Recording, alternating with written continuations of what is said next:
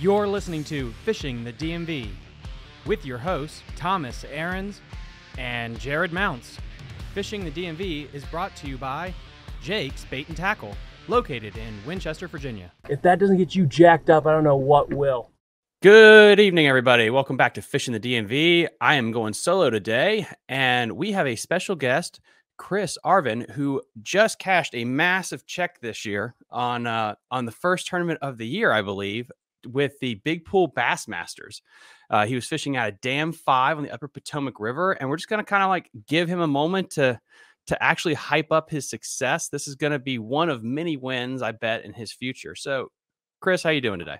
I'm wonderful today. I don't know how massive that check was. It paid for gas. Dude, a W is a W, and to win the first tournament of the year, eh, that's the big. It's got to be like a good juju thing, just to feel like get things rolling. Takes a lot of stress off your shoulders. So last year, I mean, like I don't know, I don't know how many times I came in top five, but just Mhm. and then to go out and win the first one this year is just uh, I don't know. It's just one of those things where you're like, all right, maybe I can do this. Mm-hmm. is that the first one that you've won in a while on the Upper Potomac? Yeah, know, that, that- honestly, it's the first one ever. Really? I've only been tournament fishing. So I started fishing club tournaments in high school uh, about 2013, and then once I joined the military, that kind of it seemed like every drill weekend was a tournament weekend. So the only tournaments I was fishing were like three and a half hour Thursday night, like shootout style tournaments. And I know one year we came in second place like four or five times, and we just couldn't we would either lose the fish that we needed or we just couldn't get a fifth bite or something something would always happen but to go out and just win the first one just to uh, it's I, I feel zero stress the rest of the year because of it hmm So I mean, like, yeah, honestly, dude, the floor is yours. Just kind of like walk us through it. So it was um based on um my notes here. It was February 27th. It was last Sunday in in February. So it was a lot colder. Kind of just walk us through the day. Um, like, what was it like?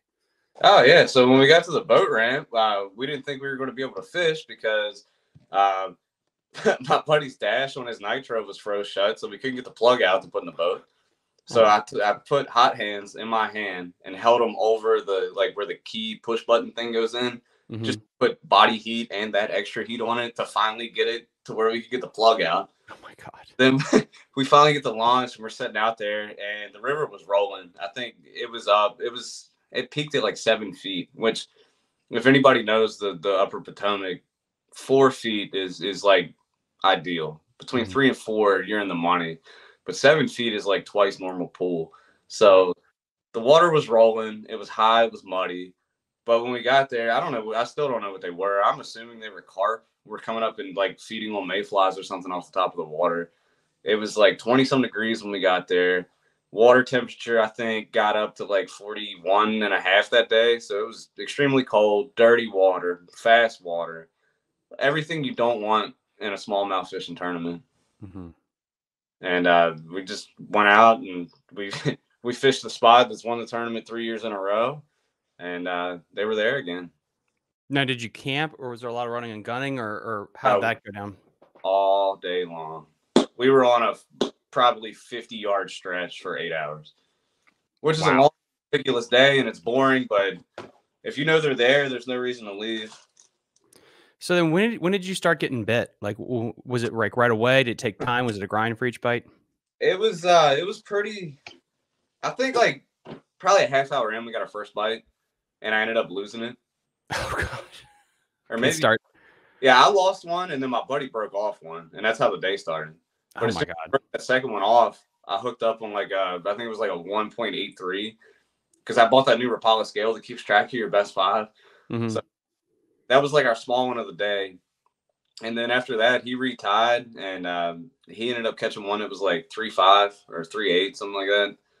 And then I caught another one that was over three, and then we ended up like kind of hitting like a lull. And So know. by like by like noon, where are you at?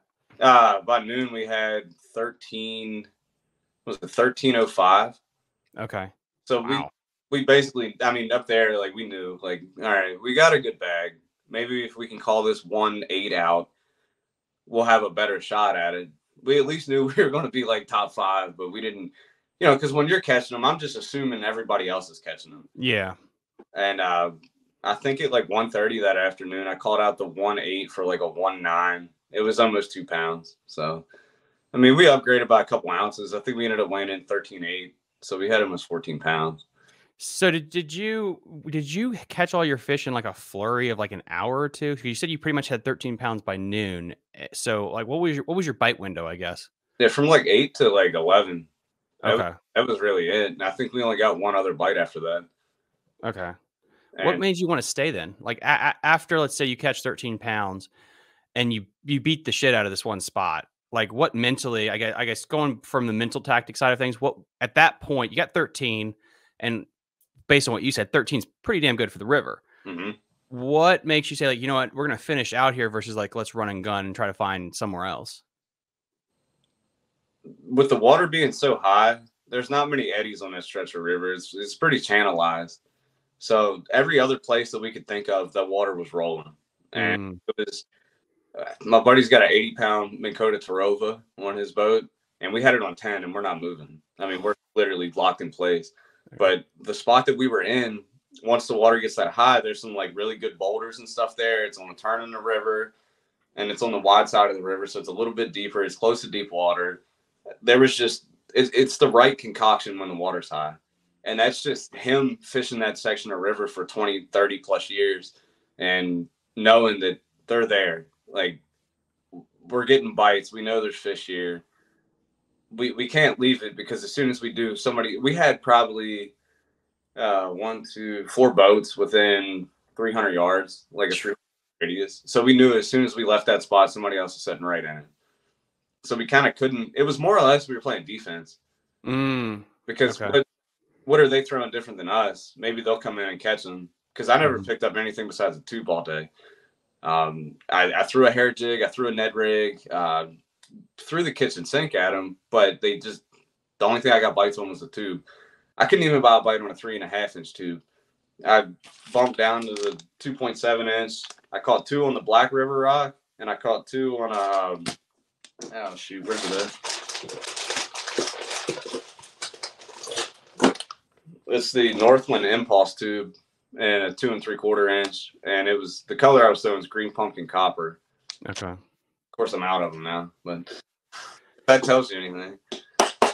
Uh, with with your partner um did you guys what is your strategy with a partner do you like to have both people do a bottom bump do you like to have one hit one side of the water column somebody hit something else do you guys both fish out of the front of the boat like what what is the strategy you guys like to do so he's got an 18 foot ni- or yeah, 18 foot nitro. I think it's what the Z7. okay Uh, This deck, I mean, his beam width is like 90 some inches. So we both stand on the front. Um, with the Terrova, it's really nice because he got spot lock and he's got the constant on and all this. It's, it has all the features of the Ultrex just in the, the like the model down.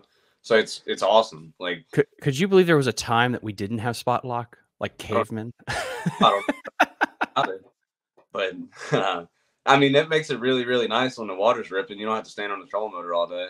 hmm and uh, he's got the the Terrova has two buttons on the back of the pedal to where you can correct left or right. So once you hit constant on, you don't even have to use the pedal. You just bump it out together, which is amazing. So Mhm. we both uh, usually our our goal is like anywhere else, and, and conditions dictate. So we knew it was 41 degrees on a warming trend after snow and all that other stuff, and it's been cold all winter. We knew it was going to be a long, slow day but usually like if if we know it's like that i'll throw a tube he'll throw a ned rig or vice versa or he'll throw a micro jig and i'll throw something else. We, we try to keep it different until we realize like all right the guy with the tubes catching way more fish than the guy with the ned rig and then we'll both swap over. And then granted color might be different but we'll eventually like once we kind of dial it in because we didn't pre-fish that was the day I, or the tournament i had all my boat troubles Oh my goodness! Uh, Yeah, But- tell uh, if you're if you want to tell everybody like because this is the thing I love about talking to people about tournaments is the mental side going in and going out, especially if it's a multi-day tournament. Like, because you, you go through such an emotional roller coaster. Tell people just the day before that week, like what was going on, because it makes this tournament win so much more awesome. I think. yeah so that monday i think it was uh whatever the last holiday was president's day or whatever Yeah. got to the river at like daylight. I was on first boat there. I get out, I get everything unhooked from the trailer.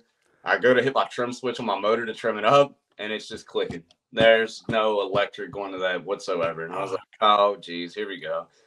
So I was like, this battery's fried. I'm not wasting this whole day. I went to Napa Auto Parts. I got a brand new cranking battery. I put it in the parking lot.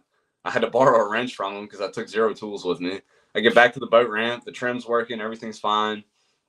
I launch the boat, get it off the trailer, get in it, turn the key. It fires up. And I'm like, great. But my boat is a 99 two stroke. It's cold natured. So, of course, it sputters and stops. Mm. I go to turn the key again. There's nothing. I'm like, oh boy. Mm. So I was like, all right, well, if it's dead, I'm just going to troll motor over to the other side of the river and just fish up the bank because there's there's deep water and there's like rock like cliffs and stuff and actually right across from the boat ramp's always been a pretty decent spot. So I was like, all right, that you know, I'll just go over here and fish that. We'll see if there's anything on. Troll motor's not working. I go to drop in the water and the button is literally dead. Like I pushed the button and it didn't click. And I was like, oh God. And then I went to turn the constant on on and it would like spin and stop, spin and stop. And then all of a sudden it just took off. And when it did, this plume of smoke came out from underneath the head of the trolling motor. And I just felt burnt wires and it was disgusting. So I was like, all right, that's done. So here I am paddling an 18 boat back to the boat ramp while my truck is still running parked on the ramp. And I was like, all right, I'm going home. So I loaded it up, got home, yanked the trolling motor off of it, hooked the cranking battery up, and it was charging. And I figured it had just sat on the shelf for so long. Like it had one one shot at starting, and that was it. But so I get it home, I get the trolling motor taken off, I take the head of it off, and all the wires are like melted together. Oh my god! And I was like, it. I throw it like out the door of the garage. I'm like, I'm tired of this. And I actually called Jenny, and I was like, uh, "Hey, can you order me a trolling motor?" and I just got it put on uh, like last week.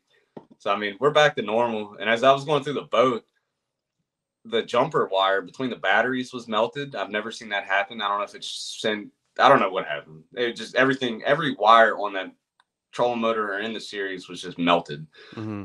So I put a new trolling motor, a new plug in because I got the uh, the receptacle or whatever on the front that you can plug the whole nine, which was another fiasco because that boat originally came in the 90s with a 12 or 24 volt trolling motor. So it was a four prong plug. Oh my God. When I pulled that plug out, I only had two wires on the new one. And I was like, oh boy. so I traced them all the way to the back of the boat. I'm like, all right, well, I got a solid positive, a solid negative, and I got two with a green stripe going around them. And uh, my uncle's actually a master electrician, so I had him there just to supervise. And I was like, okay don't let me do anything wrong. and, uh, he was like, cut those two with the green stripe. I was like, are you sure? We were playing bomb diffuser basically. He was like, yeah, cut the green one. So I cut both of them off with the new plug in, spliced the jumper wire, and everything's fine now. But, Dude, I mean, like just before the tournament though, mentally, that would fry. Like even if let, us say like this you're not even going to use your that your boat in the tournament. You was already set to use yeah. your friend's boat. Still mentally like to have all that shit go down the week of the tournament. Oh man four days or what five days before? Yeah. Gut punch. I didn't not only like am i thinking like damn i missed out on a day of pre-fishing in my head i'm like damn i gotta spend money to fix this now am i going to be down for the first couple tournaments and what's going to happen but everything turned out okay. So I mean, we're we're we're getting back to normal now. But going into it, like I mean, that's the other thing, guys. Too, it's like it's just the biggest part of the tournament fishing is is like the mental side of it and getting that cool head and the, th- the thought that you had all this in the back of your head.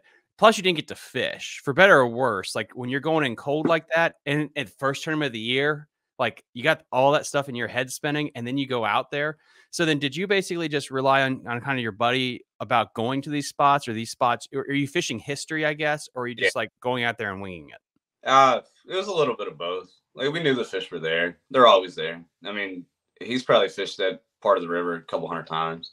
I fished it enough to know that that's where we are going. Like as soon as we launched, we're going there.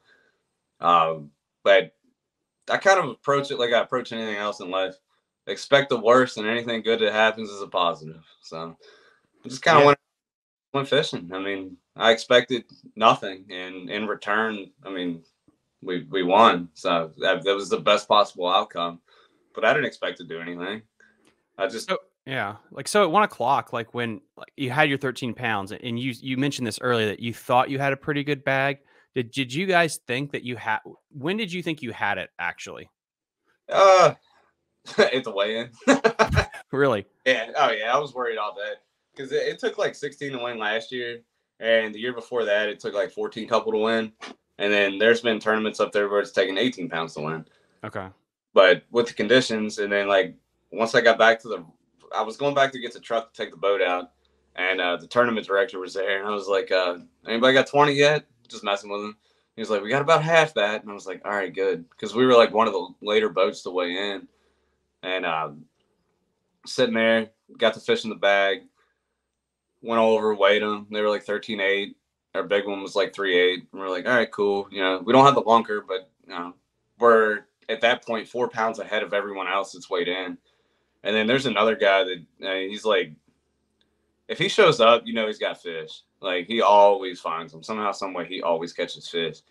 And uh, he pulled the first one out of the bag, and it was like probably three quarters of a pound smaller than our smallest one. And I was like, all right, cool. And then he pulled out three more that were over three pounds. And I was like, oh God. so and then when he pulled out the fourth one and waited, I was like, all right. And I'm I'm waiting. Like the anticipation's kind of killing me at this point. He never pulled out a fifth one. So when he only had four, right then and there, I was like, yep, we got it in the bag. And then there was like two people weighing after him. And I think one guy had one that was like almost five.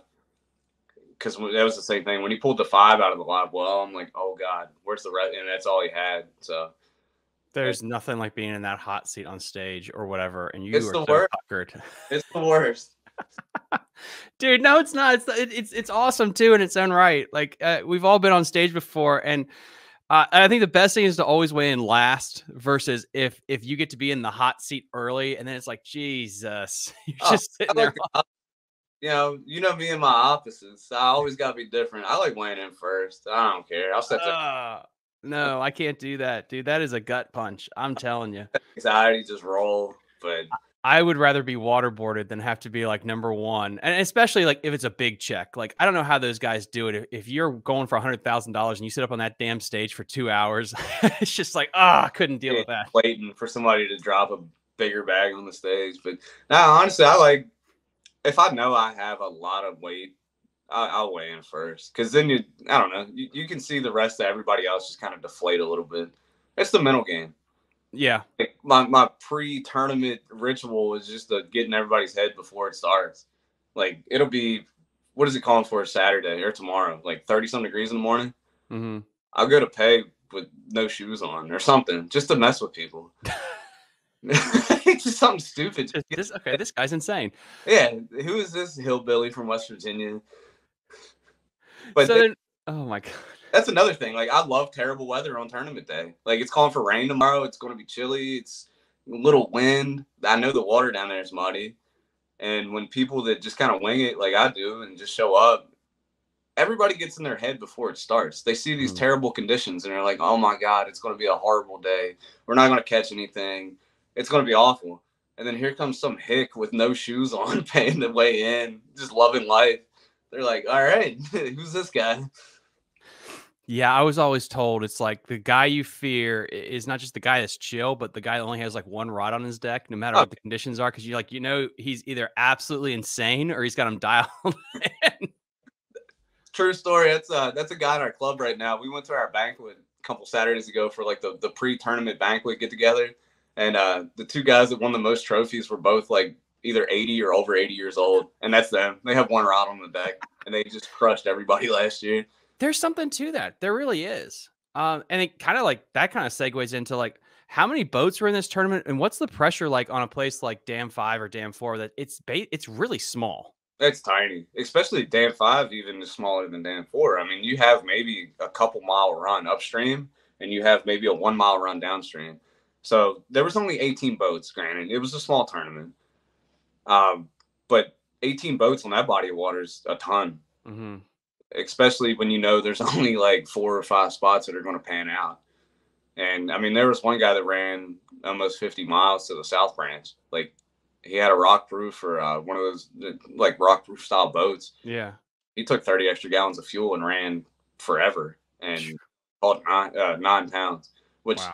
that's like the you know that's a make it or break it. You're either going to go up there and catch 20, or you're going to go up there and not catch a check. So you're taking a gamble, but anything over 15 boats on that stretch is you're kind of getting crowded and you're kind of like you worry about it because you're like all right well depending on where we launch from because i think we launched like 12th or 14th out of 18 boats Yeah, and that's not what I want to get into because you can use your big motor, and I feel like we we had um um we we had Mart, Marty Lawson on who's down in Fredericksburg, and he talks about all the lakes down there are electric only. Because of that, I feel like it's almost like Occoquan Reservoir, where like it makes it fish bigger because you can't just blast, generally speaking, to one into the other. So it doesn't get necessarily the pressure. But a place like this where you can use whatever horsepower you want, does and I guess to my point is if you know there's like four good spots and people are on that, do the fish reposition, or is it basically if you don't get to one of those four hot spots, you're screwed? Or can you still guts and nut something together because the fish move around? If you don't get to those spots up there you're kind of sol like my best friend other than the other best friend that i was fishing with Mhm. was fishing 300 yards behind us they caught one fish all day That's crazy. and it's literally like the boat behind us. We had a guy that actually kind of he was he was getting on our nerves a bit, and like granted, I get it, we're fishing for money, but you're 50 yards away from us, dude. Like, and you're like coming closer. At one point, he was like 20, 30 yards away from the back of our boat. So like he just kept encroaching and encroaching and encroaching. And because there was like a log in the water, and that was like our starting point, and we'd fish up to where like the bend stopped and back, and it was like 50 yards of water. That was it. And then by the like almost the end of the day, he was like at our starting point, which you've seen us sit here for seven hours. Mhm. You've seen us catch fish, and he never weighed a fish in, and that was just literally like a 30 yard difference of him not catching anything and us catching a limit. And that's kind of why we kind of started playing defense because we knew as soon as we left that guy wanted that spot, and there's still fish there. But And that's crazy that you were able to get to that spot because you said you were one of the later later boats to launch off, right? I don't know why everybody ran elsewhere. There was a boat sitting there when we got there, and they just left, and we were like, Mhm. "All right, cool, here we go." Do you think it sets up where you have only so many good hot spots there because it's a river, not a lake? Like if it acted more like a true lake with less current, do you think it would push the it would, it would distribute the fish a little bit more? Oh, big time. Because um, especially like in the summer, it kind of does. Because there's like some humps and stuff out on the main river there that they're right out in the middle, and you can go out and catch fish off of them. And they kind of like when the water's low, they act like it's a lake, but Interesting. as the water rises and you know they just kind of push to the bank, and they're in those like couple spots, and that's it. So what made you guys not like try to throw like the classic like crankbaits and stuff? Was it just the conditions that dictated that you had to get finessey or because of the pressure? I there was so much sediment and debris on top of the water. I tried to throw a crankbait, Uh not get it to not like catch a leaf or catch a twig or catch whatever was floating down the river at the time.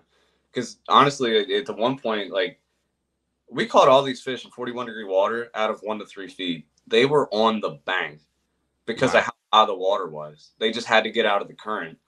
And there was like a debris line on the bank of just like random stuff, like twigs, leaves, all that good garbage just laying along the bank, and the fish were almost laying underneath of it. So we were like flipping, literally flipping tubes with spinning rods at this stuff, making like twenty foot casts. mm. But- So how do you like with was it, and you said the water was off colored like really kind of get into the tackle setup then like what, what were you using and like because I would think you'd go with like a hot chartreuse or pink thing when it's that dirty or a lot of people at home would probably think that as well but you kind of went it seemed like with very neutral colors Yeah, I mean it was it was dirty. It was like really dirty for what I like. Um, but I just threw I don't know the the classics in dirty water, a straight black tube, two and three quarter inch. Oh And then- wow I started trimming it because River Rock leaves the tails long, and I like a short tail on a tube with a fatter body. So I started trimming about a quarter to a half inch off the tail, and I was just throwing it on this jig head. It's a Rogers uh, three eighths ounce two odd sickle hook with a little wire weed guard on it. On eight pound fluorocarbon, Seaguar InvizX, uh, ten pound um, shoot Power Pro Power Pro Super Slick. I have my uh, seven seven Phenix Maxim spinning rod and I was throwing it on a 2500 size Daiwa oh, shoot, Regal LT, I think. Wow, you're throwing a Daiwa?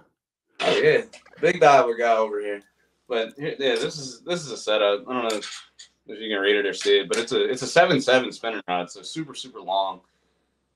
And I actually swapped the reels around. It's got a freaking Lew's on it now. It's the only reels Lew's uh, or Lew's reel I own. But yeah, I, I kept it in my hand all day. I literally bought it that Friday at Jake's, and then because I knew what I wanted to do with it, and I knew it, it was perfect for it. Because with that length of rod, as fast as that water was moving, you have to throw a heavy tube. But as you know, in rivers and stuff, tube has like the bury in the rocks and stuff, so you're going to get Mhm. hung up a lot. But with that longer rod, I could keep the rod tip high, and it would make the tube almost set instead of in the down position. With the high rod tip, it would keep that jig head up, so the back of the jig head was like hitting the rocks, and it just makes it easier for it to roll over. Granted, could I have done it with a shorter rod? Yes, but that just made it so much easier.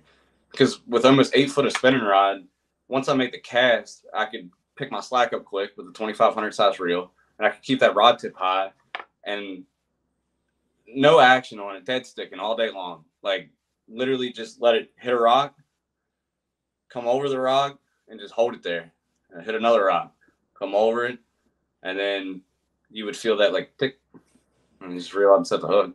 Why a tube versus? I mean, uh, the thing that every every smallmouth angler on the planet throws right now, the Ned rig or the drop shot or a jig. Why is it the tube on the river, the Shenandoah and the Upper Potomac, peanut butter and jelly? Because you don't see pros usually fish that as much anymore. Ah, that's a good question. I'm not sure. Maybe it's because everybody has hopped on this uh, Ned rig train that they just don't see it as much. But it's been a staple since the 70s and 80s, especially on the Shenandoah and Potomac. Uh, the one memorial tournament that we fish every year in the summer for Butch Ward, uh, they called him Mr. Smallmouth. I mean, you could, if you go uh, Google Butch Ward, the, a, a really, really nice article about him pops up and it's the same two things that everybody else like in the winter here hair jigs and tubes. That's all he talks about. Um, maybe the subtleness but i mean you don't get more subtle than a Ned rig. Yeah. um, i don't know. Honestly I, I i have yet to figure it out because there's been days to where like i've swapped between a Ned rig and a tube all day long and one hasn't out caught the other but i've caught more size on the tube or i've caught more size on the ned rig or there's been days where the ned rig's on and the tube's not so, like I said earlier, he was throwing the Ned rig. Uh, just I think he was throwing a green pumpkin TRD, and I was throwing that black tube, and I was getting bites, and he wasn't. And then he swaps over to a tube, and he starts getting bites. But it's it's just one of those things where I have both tied on at all times. hmm But whatever I'm starting to get the first bite on, or what I get more bites on, I'll just stick with that. I I don't have an answer for that. I have no idea. It, No, it, it's just curious to me because it's like how much of it, um, like Jared from Jake's Main Tech told me the other day. It's like what you're trying to do is you're trying to catch the fisherman, not the fish, with baits and products. And it's just weird that yeah, like every time I've gone to the Upper Potomac, whether I'm kayaking or throwing the boat out there, everyone's got a tube tied on. Mhm. But but no one really has th- these other baits that you see the pros fish. And it's like, is it because we know something they don't, or is it just it's set in their ways that this is what you do that's when the you big go to these places? they're they're set in their ways. I mean, you go up there now, you'll you'll see a tube, you might see a wacky worm. You eh, the basics, like the the Mhm. bare bones of fishing, is what I see a lot with other people. Or they'll they'll learn a new technique that might be like a shaky head. So they're up on the river throwing like five, six and shaky head worms because they've seen it on a YouTube channel and they think it's going to work everywhere and it doesn't. Um. I've had a lot of success up there on Ned rigs, but it's just for whatever reason, especially in the winter, that tube just does something different. I don't know if it's because the legs move when you don't have to do anything to it or the way I'm throwing it because I don't bounce a tube at all. I was like I if I got a if I'm throwing a tube, there's no movement on that rod other than filling the slack up and lifting and dragging it. Because I see a lot of guys they want to bounce it. They want to reel the slack up and they want to give it a couple bounces and reel the slack up. I don't think a crawfish moves like that. Because if you've ever paid attention to them on the bottom, they're just kind of creeping along as slow as possible. And I'm just counting rocks. That's my favorite way to throw them up there. Yeah, my, my, theory since we had uh, Travis from um, Kingfishers on is Mad Toms. that in this colder water period, it's those those little mad tom catfish. And if you ever like Google a picture of them, they're thicker bodied than a Ned rig. They're stubby and thick. And it's like that makes sense why maybe a tube or a jig would work versus a Ned because a, a Ned is a little sl- more slender um, than a tube is. Let me grab some real quick. And this is why we have him on, guys, because he always has the tackle everywhere. He sleeps in a tackle shop room. Basically, hey, here's my. uh This was my box that I was going to take to the Susquehanna this week. Oh my gosh. It's just packed full of all the good stuff.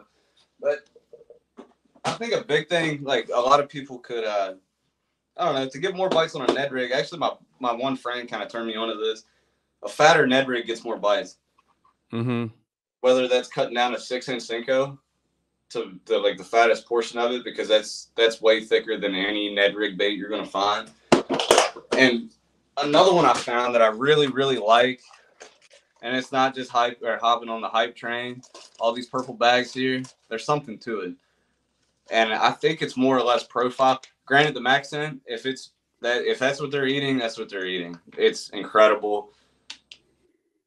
I just I'm hard pressed to not take it anymore because of how well it works. And power bait like that forever. Like I've always preferred a power bait worm over a, a Zoom U tail worm.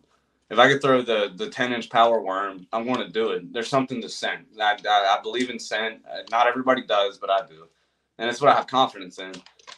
But the big thing with the uh, the MaxScent stuff, let me find an open pack. There we go. They're fatter worms. I mean, that's Oh, that is stubby. yeah, it's it's what two and three quarter yeah two and three quarter inches, but it's super fat. Uh, compared to like here's a this is a four inch Z man worm, and this is like I don't know one point five times the girth of it. But I think So- they do that stubbiness in a Ned rig, and I always thought it was BS, and I always thought my buddy was giving me a hard time, and but the more I started fishing the stubbier Ned worms, the, the more fish I caught, the bigger fish I caught. And Let me go grab my my my Ned rig thing. Keep how, how do you rig your Ned rig? Keep telling everyone how you rig your Ned rigs on, on Alright. what your tackle is. I'll be right back. All right. So if I'm fishing a Ned rig, I got one favorite head that I like. Here's my, my little Ned box. Um, it's a two aught owner round ball ultra finesse head, and I usually paint the head a brown or a green or a black, and I like to throw those in the river. Um, for whatever reason, the round ball doesn't get hung up as much. I can keep it weedless. I can throw it anywhere. So I'm not throwing that, I'll throw it on just a that's a Rogers with a sickle hook, just a regular Ned head. If I'm not around big rocks and stuff. Um, but I got all kinds of different types. I got the ones with the wire weed guards. They all work pretty well the same. But my preference is this, especially with the fatter Ned rig baits, that wide gap. I get a better hook set with it.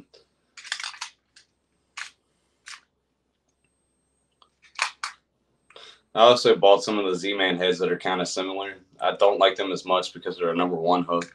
I like the little bit bigger, longer shank, thicker, uh, thicker wire hook.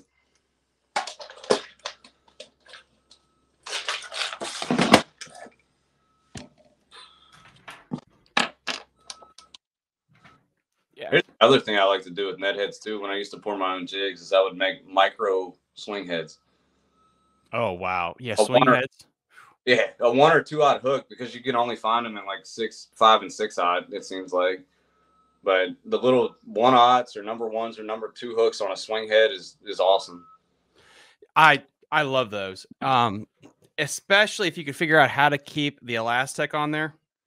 Yeah, because like that's the thing that's a nightmare when you do now other i think other worm styles like you said like like the the Berkley products are extremely good but these here this is the the nichols lure like heavy cover net head or i just got this this is this is japanese stuff right here this Uh, is the boss this is a this is a football style heavy weed guard ned head hook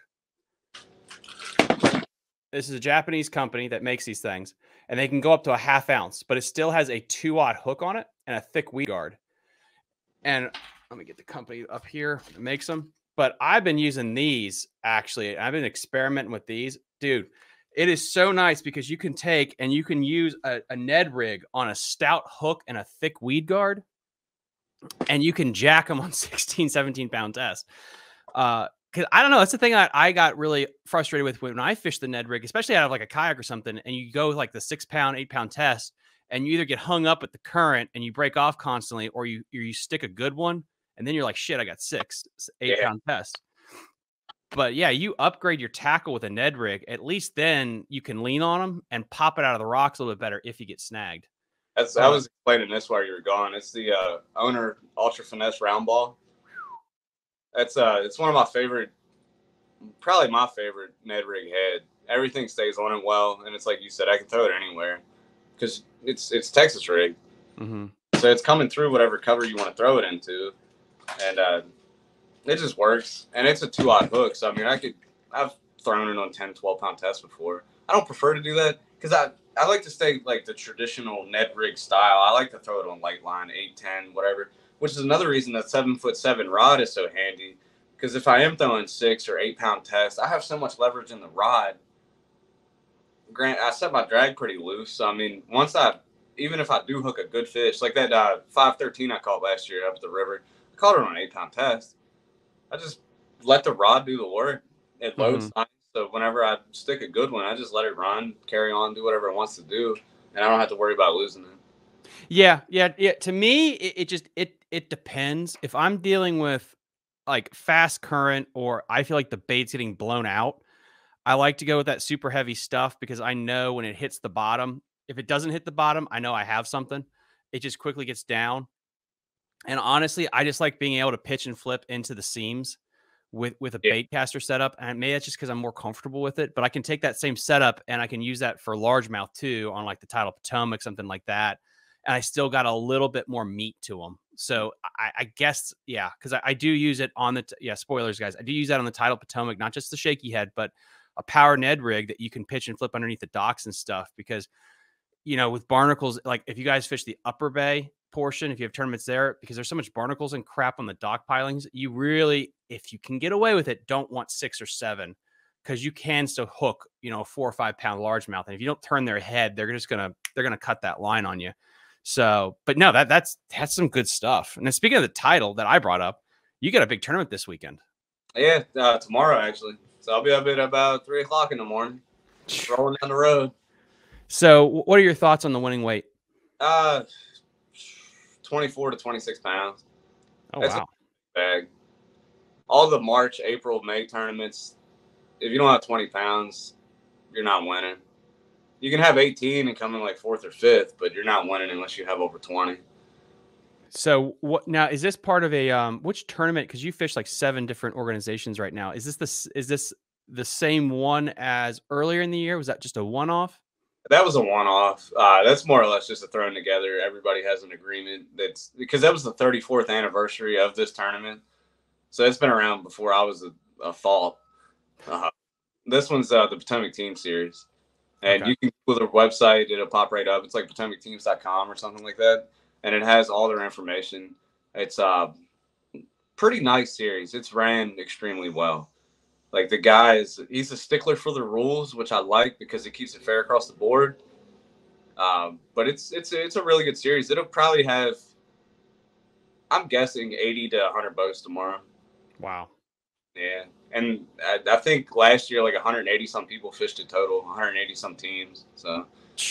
That's insane. Well, hopefully after you win this one, we can get you a brand new trolling motor. A brand new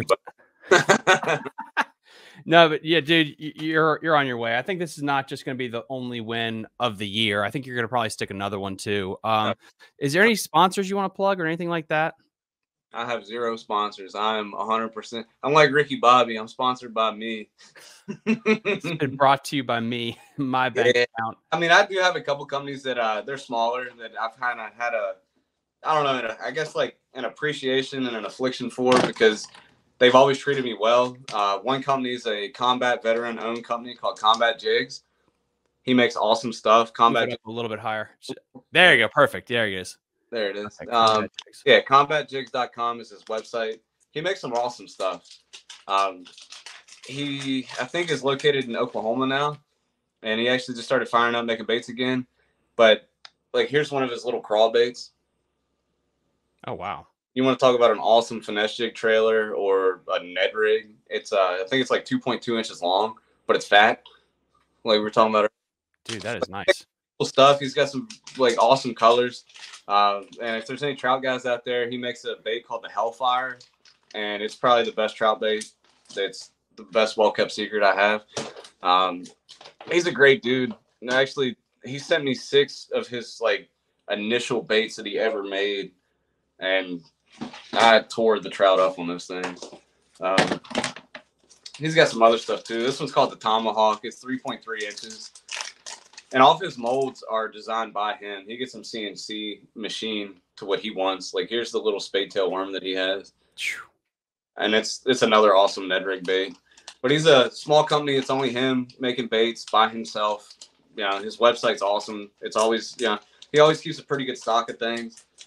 Um, and he's he's a great guy. His name's Kyle. But uh, at Combat Jigs on Instagram, he makes great stuff. And then I guess the other company that I shameless plug, but Beast Coast. If you guys don't know about Beast Coast yet, that's that's the money right there. Dude, their that is colorways, their jigs, everything they make is is my favorite. And here's their 6.5 inch swim bait.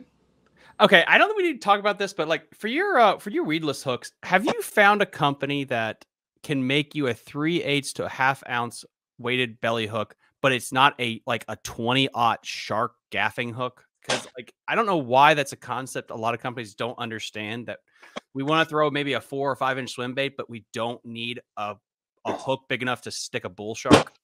Let me see here. Let me rifle through these hundred. Or maybe it's just me. Maybe it's just me. Um, you know, I use the Owner Beast hooks on anything that's meaty, but somebody just came. It might have been uh, what is it? Uh, the company Zappu, Z A P P U. It's a Japanese company. Yeah. They- Now with a, it's a, it's like an underspin style swim bait hook. So it's a belly weighted underspin style swim bait hook like this. Like this is the beast hook, but they make them in like one and two odd, and I think they go up to three sixteenths ounce. So if you wanted to throw a three point three inch Contact on it, it's perfect. Yeah, that is actually perfect. Because I mean, that, that's a part of the market that if they get into, like, I want a two, a one odd to two odd hook that can go up to a half ounce, just Yeah. so I can bottom bottom bump those smaller baits. That's just like these. Like the only reason I ever started these is because this is a two odd hook with a three eighths ounce weight on it. You Huh. can't find. I, I've searched Tackle Warehouse probably ten times for these, and you can't find a swing head in anything. It seems like in less than a five odd. Mhm. Making them for like biffle bugs and like the the big creature style baits. But sometimes you know I I don't know. I do a lot of smallmouth fishing. I don't want that big giant hook because I can take something like this, and the swing heads are awesome for coming through cover.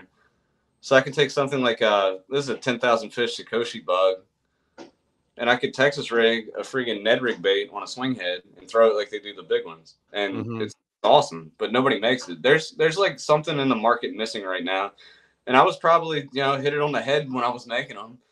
Just I don't know. I got burnt out and I didn't want to do it anymore.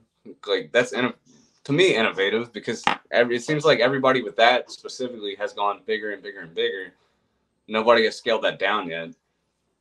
I like to take that, and throw it on like ten pound test. Even like I'll, I like throwing contacts and stuff on this too, because Oh, yeah. um, you can roll it over. Um, I think uh, Chris Aldane was talking about that, throwing swim baits on swing heads. It's a great technique. Smallmouth. Yeah, it is, and it's it's it's great technique just for smallmouth. But if you have to take your swim bait and you want to bash it into stuff, Oh, it's perfect. i- i- it's perfect. Especially like I know we, you know we talked about before the broadcast. Like I love throwing like uh, American trash fish or or something like that. That that bait is specifically made to be fished like a Huddleston, where it bumps into bottom and all the fins because it is so soft. You can catch maybe two or three on one before it's destroyed. It's so soft. Every time you hit something, it quivers. You have to bump bottom though to get that action, like the American, like the little, like the um, oh shit, the little sleeper, the dark sleeper. That's what it is, something Yeah. like that but you have to have a specific type of weight to get it down on the bottom. And if, if you hit stuff, man, it just uh it they kill it. Absolutely kill it. Yeah. and that's like with the swing heads and the swim baits. Like I'm fishing for smallmouth around shiners that are less than three inches long. I need something that gets down 20 feet, but I need a one odd hook. So I started making these, and I mean, I even have one that's like a number one. It's oh, where'd it go? Oh, there it is. Shoot. Yeah, this is a number one extra wide gap, and it's a quarter ounce, and it's it's a swing. So I can put like the 2.8 inch Contex on this, get it down, and not have to worry about getting hung up. Still have a good hookup ratio, and, and that's just missing in the market, in my opinion. Is it like a little niche thing that I like that maybe might not sell? Probably, but and I get it from a marketing standpoint. You have to sell this stuff, mm-hmm. but I feel like there's a big enough market that wants something like that because I I would love to have that on like uh, I don't know even on like Lake Erie or the Great Lakes where you're fishing around gobies and you are fishing those giant flats for smallmouth. That like half to three eighths ounce of like a two odd hook on like a little goby colored swim bait like I got like this. Mm. How awesome would that be? It's green pumpkin magic, which is like the the most amazing smallmouth color ever, and a 2.8 inch Contact around gobies and stuff. It's and money. I head like, what more could I ask for? Yeah. No, it, you're right. It, it's absolute freaking money. It is. It's absolutely money. Um, so yeah, I guess last thing for before we uh for, before we end the recording here is like what what tips would you have for people that want to go out and fish the upper Potomac or Shenandoah River this time of year? Uh three tips. It's it's pretty on fire. So I mean you could go out and catch a good bag of fish right now. Um, I would power. I would start off power fishing, crankbait, jerkbait, spinnerbait. Um, see if I can find some fish. It's pretty pattern oriented, so if you find them in a certain depth of water, try to stay to that depth of water. Because uh, if you're catching them in ten feet, they're in ten feet. You can go fish the twenty. You can go fish five feet. You won't find them like you did when you caught them in that ten foot range. Mm-hmm. Uh, I'd start out power fishing, and I'd just tailor it after that. If the bite dies down, I would switch and throw like a tube, a Ned rig. Uh, you could probably catch them on a drop shot because I'm sure the river is probably mid 50s right now, so they're pushing up to spawn. They're they're getting there, especially for smallmouth. So if you can find a place that I don't know, some sand, some rock, um, a place that looks like the a smallmouth would want to spawn there, I would really beat that area pretty good. Um, rumor has it that there was a 6.8 pound smallmouth called a Dam Four. Oh wow. Yeah, well, it's more than a rumor. I, I, know it's a fact, but yeah, they're there. You just got to find them. I mean, there's yeah, yeah. there. I've heard of two 20 pound bags come from up there in the last two weeks. So. Yeah, and, and, the thing is, it's just if they start taking better care of the river, do better stocking, uh, better introduction of bait and stuff, like it, it could definitely hold a bigger bag or, or oh, more consistent ones. Yeah. Instead of just the one random couple weeks of the year where you go up and catch a giant bag of fish and then you catch five pounds and five fish the rest of the year. Mm-hmm. I mean, the, the potential's there. They just got to put the effort in to make it what it needs to be. I uh, I 100% agree, guys. But follow Chris. Uh, follow him on Instagram. You don't have a Facebook yet, do you? Uh, not for my fishing page. So he's going to have a Facebook and a YouTube page eventually, especially when he starts cranking his a, a bunch of checks this year. But yeah, yeah, give him a follow, guys. You're listening to Fishing the DMV with your hosts, Thomas Ahrens and Jared Mounts. Fishing the DMV is brought to you by Jake's Bait and Tackle, located in Winchester, Virginia. If that doesn't get you jacked up, I don't know what will.